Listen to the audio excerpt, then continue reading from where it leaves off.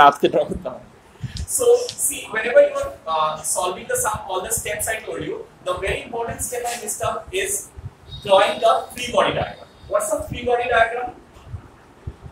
Free body diagram. इसको हम लोग in short FBD बोलते हैं. क्या बोलते हैं? FBD. Drawing the FBD. Free body diagram का मतलब क्या है जो हम लोगों का सिस्टम है, उसको दूसरा सराउंडिंग से फ्री कर लेंगे।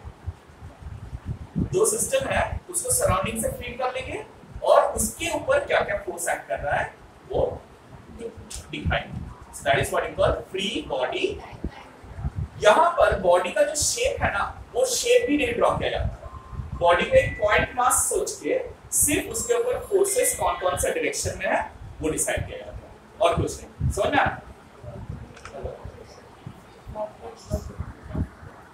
well let's come back so देखो कैसे ड्रॉ किया जाता है? एक एक करके ड्रॉ करेंगे। अच्छा और कुछ नहीं बोला है। सिर्फ़ फ्री बॉडी डायग्राम ड्रॉ करने वाला है। Find the normal reaction forces at all contacts. Yes. Normal reaction forces at all contacts निकालना भी पड़ेगा। थोड़ा ध्यान से देखो। For for हम लोग का सिस्टम क्या है? For 1 kg oxygen 1 kg block नहीं यार नहीं अभी नहीं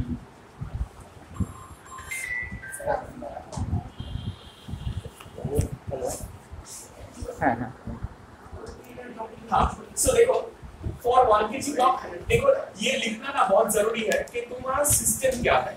अदरवाइज़ यू गेट कंफ्यूज थोड़ा ध्यान से देखो हम क्या कर रहे हैं।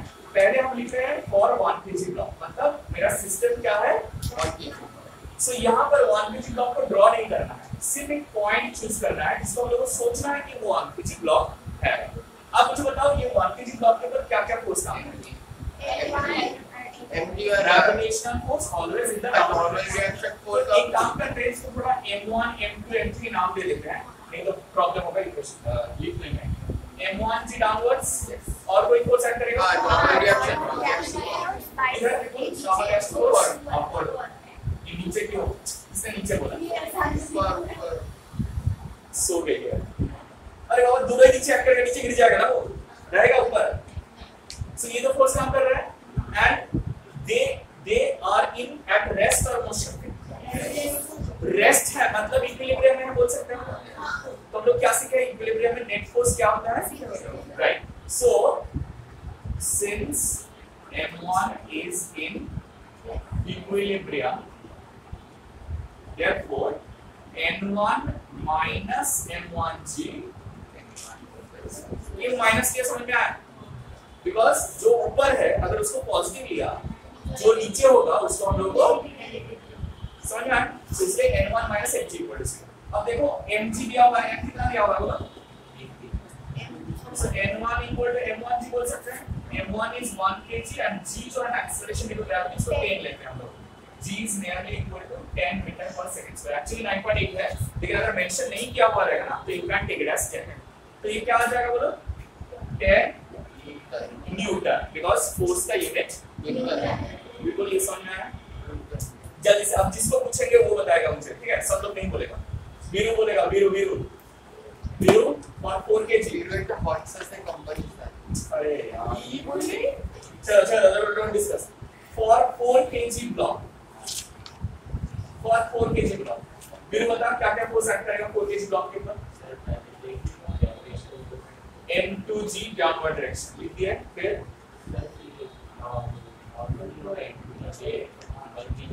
हाँ वन के जी जो नॉर्मल रिएक्शन फोर्स n1 मिला था वही वाला फोर्स वो नीचे देगा। N1 नीचे एक्ट करेगा। और वो क्या करेगा? अपवर्ड वो एक अपवर्ड फोर्स देगा। बढ़िया। So this will be n2 alright और कोई फोर्स एक्ट करेगा नहीं एक्ट करेगा अब साक्षी बता इक्वेशन क्या बनाए हम लोग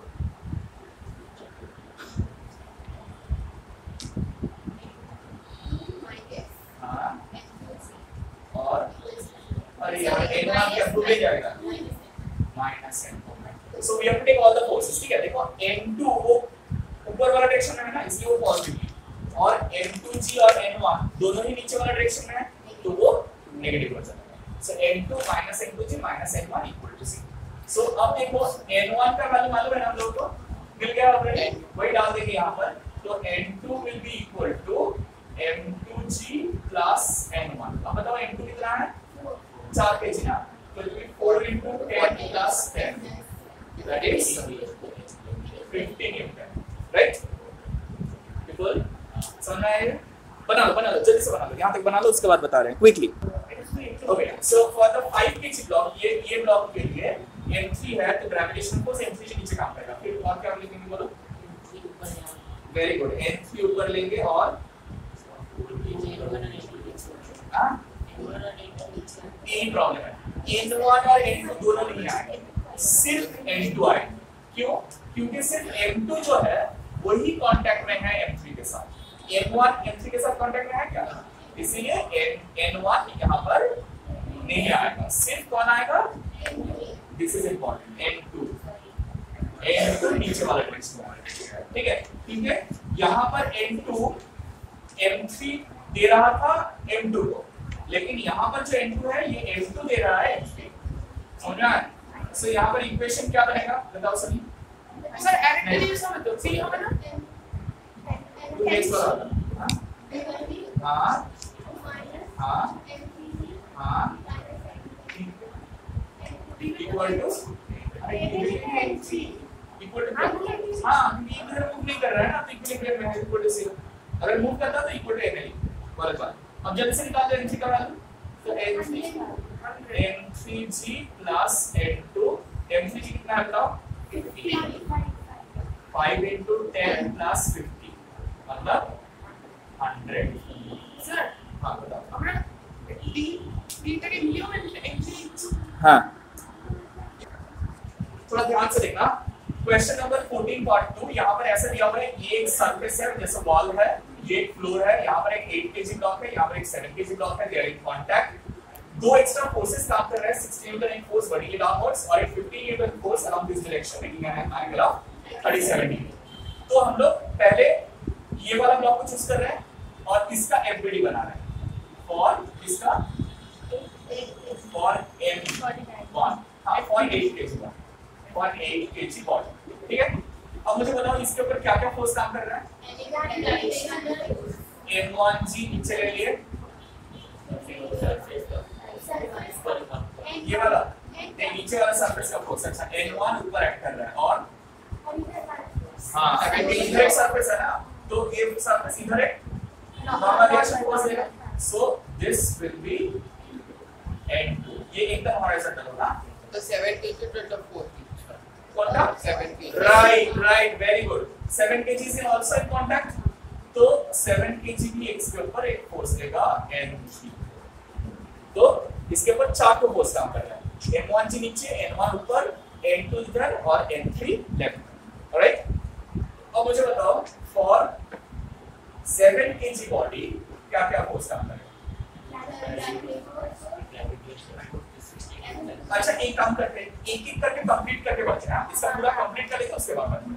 अब हम लोग देखो जो स्टेप्स हम लोग सीखे ना कैलकुलेशन करने का उसमें से दो स्टेप किया। क्या? सिस्टम आइडेंटिफाई कर लिए और फोर्सेस आइडेंटिफाई कर लिए। थर्ड स्टेप क्या था. नहीं थर्ड से आइडेंटिफाई द एक्सिस अब देखो एक एक एक बहुत सिंपल सा चीज़ है तो ऑब्वियसली इधर एक एक्स एक्सिस ले लेते हैं हम लोग और इधर एक। ले लिए? फोर्थ स्टेप क्या है? तो यहाँ पर कोई कंपोनेंट पे रिजॉल्व करना पड़ेगा? क्या सिखाया मैंने कि सारा एक्स एक्सिस और वाई एक्सिस में अगर रहेगा, कोई कंपोनेंट पे ब्रेक करने का ज़रूरत simply along x axis fx equal to 0 fy equal to 0 so, summation fx में कौन कौन आएँगे बताओ? Along x axis क्या क्या फोर्स काम कर रहे हैं बताओ? N1 x axis में है तो एक दूसरा लगाएँगे N3 n2 और A minus N. हाँ हाँ ठीक है ठीक है ठीक है, ठीक है आराम से x axis में n2 इधर है और n3 इधर है। देखो पॉजिटिव x axis में n2 है ना?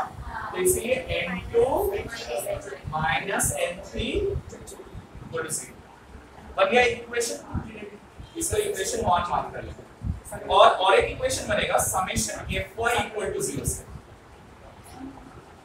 Again summation fy equal to 0 fy में क्या क्या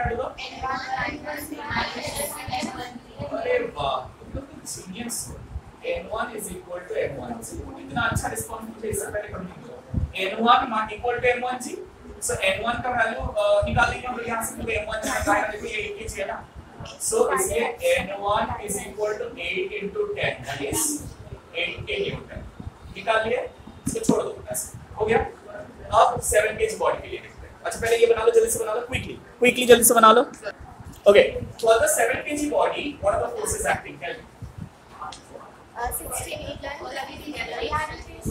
M2 जीन एक्सेप्ट कर रहा है और 16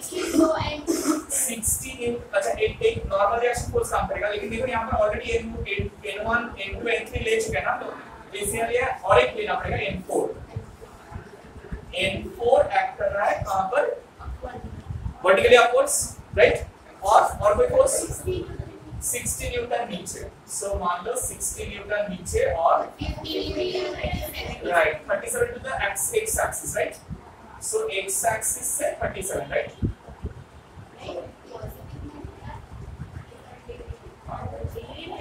वर्टिकली ऑपोजिट ले लिया ना मतलब ये इधर एक्ट कर रहा था ये 37 होगा तो ये दो लाइन कांटेक्ट में आकर तो ये वाला एंगल भी समझ में अच्छा अब मुझे बताओ ये ये फोर्स कितना 50 न्यूटन ना? 50 न्यूटन अब और कोई फोर्स एक्ट कर रहा है और कोई राइट एट केजी को जो n3 मिला था ये n3 7 केजी दे रहा था उससे राइट तो ये भी n3 देगा 7 केजी पर टुवर्ड्स द राइट समझ आया क्या अच्छा सो ये ये ये समझ में आया क्यों लिए फोर्सेस समझ में आया ना? और कोई फोर्स छूट नहीं गया ना हम लोग का? नहीं। अब देखो अब इसका एक्स एक्सिस इधर लेंगे और वाई एक्सिस इधर लेंगे तो देखो हो गया ये वाला फोर्स जो ना तो एक्स एक्सिस में है तो इसीलिए ये वाला फोर्स का दो कंपोनेंट हम लोग को निकालना पड़ेगा। क्या क्या कंपोनेंट हो गया? एक इधर हो रहेगा इधर वाला कंपोनेंट क्या होगा राइट बिकॉज़ ये बहुत इंपॉर्टेंट है जिसके साथ वो एंगल बनाता है ना, उधर cos थीटा कंपोनेंट रहेगा सो इधर रहेगा 50 cos 37 डिग्री और इधर रहेगा 50 sin 37 डिग्री 50 sin 37 समझ आ रहा है क्यों?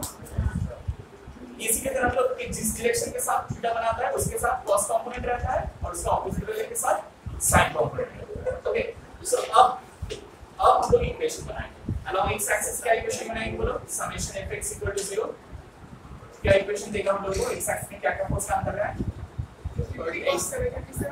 আরে এইটা দেখতে পাচ্ছ না এইটা এইটা একটা ভদ্রলোক বসে আছে রাইট হ্যান্ড সাইডে n3 minus equal to 0 और कोई फोर्स एक्ट नहीं कर रहा along x axis से भी ये दो फोर्स काम कर रहा है अब along y axis क्या फोर्सेस रहेगा बोलो if y equal to 0 implies n4 minus 50 sin 37 minus 60 50 sin 27 right anybody समझ?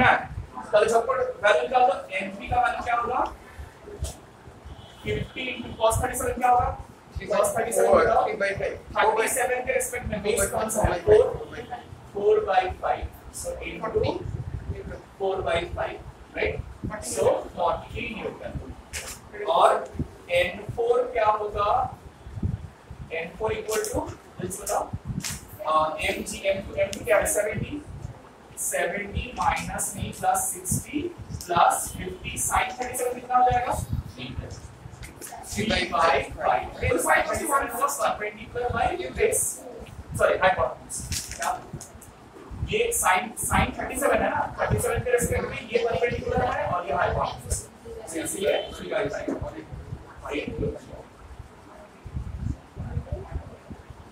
Sir, 160 degree. But 160 Newton. 160 Newton. Oh, the N2 equals to 40 Newton right even now see you have got the value of n3 ना तो ये यहाँ पर substitute करेंगे और n2 निकाल लेंगे n2 my is equal to कितना 40 न्यूटन 40 न्यूटन जापान nd को 40 न्यूटन हाँ जाओ